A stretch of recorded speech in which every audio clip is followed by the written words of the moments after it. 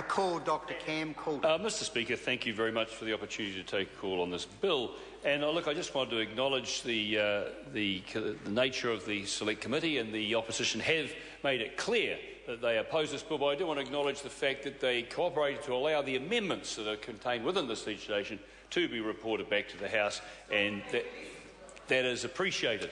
So the, the background on this bill is such that the government reviewed industry training over 2011 to 2012. And this review found changes were needed to ensure the industry training system is well connected to industry with high employer buy-in, is educationally sound and is coherent with the wider tertiary system.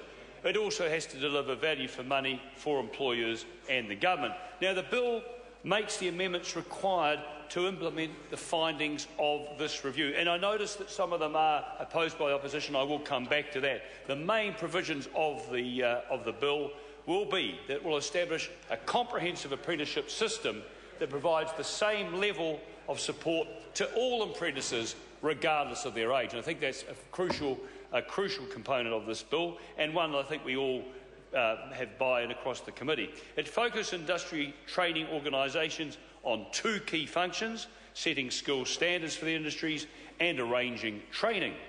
It clarifies the functions and powers of the NZQA and in relation to ITOs and includes criteria relating to quality assurance in the process by which responsible minister recognise an organisation as an ITO. Now, we heard from the, minister, uh, from the pre previous speaker, uh, Grant Robertson, about some of the concerns that the opposition hold, and they members opposite expressed concern, for instance, about the provisions in the bill making it clear that non-ITOs can receive funding for industry training and apprenticeship training. Now, some submitters contended that funding non-ITOs risks fragmenting the industry training sector and will lead to the funding of training that is solely to an employer's benefit.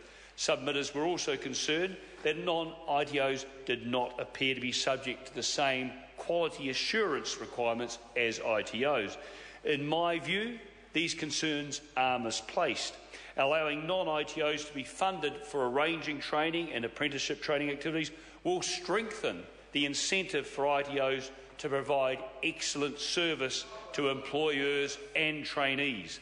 The review of industry training in 2011 found that a significant number of employers thought their ITO did a poor job. Now, I understand that's a couple of years ago and there have been changes since, but having this option available as an alternative for employers will encourage ITOs to provide quality service to their employee clients at all times. Second, I would be surprised if many employers actually take up this option for their apprenticeship training in practice. Only $10 million, I say again, only $10 million of funding for non ITOs is available in each of 2014 and 2015, about 5.5% of total funding for industry training and, it is, and apprenticeships. It's worth remembering that participating employers must have at least 40 trainees each year, and the programs and qualifications that are eligible for industry training funding are the same for ITOs and non-ITOs. Finally, the monitoring and assessing of non-ITO arrangements for training will have to be acceptable to the NZQA. Furthermore, the funding determination specifies that in order to receive funding, non-ITOs and ITOs must ensure any program in which a trainee is enrolled meets the NZQA's quality assurance requirements. In practice, as a matter of policy, the government only funds industry training that leads to transferable qualifications for the employee. That policy will apply to non-ITOs in the same way as it applies to ITOs there will be a level playing field. I commend this bill to the House.